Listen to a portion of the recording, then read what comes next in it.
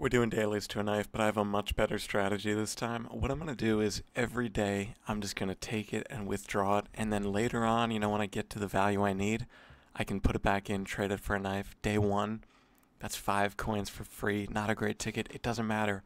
We are stashing up. We are saving up like a squirrel, and winter is coming. Okay, day two, not great tickets like five, six coins. It's okay though. It is okay. You know, that's another six coins. Because right now we are at the top. We are at the top of the mountain, and we got to take one step in front of the other to get down and get all of our fucking loss back, okay?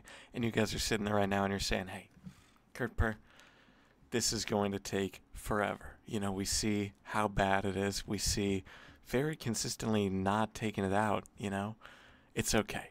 You know, how do we get down the mountain faster? I'm thinking we just throw ourselves off it, okay? Not a great idea, but it's a way down way faster, you know? That's how we get back to the base. So we go ahead, load a 500 in the battle, and we make a battle. You know, we throw on crazy mode, we lose.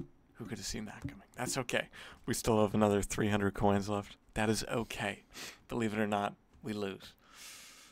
Not too great. And you guys are thinking, wow, CurtPur, that's tough. That's unfair. You got to be so upset right now you basically lost all that for nothing. No. You guys are forgetting we got nine coins out. What? Yeah. Pretty, pretty impressive. Is that not enough for you guys? What about this?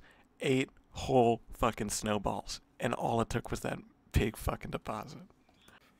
Um, um, damn. Hopefully the takeaway is clear. You know, crystal fucking clear. No opacity here. Um, don't deposit.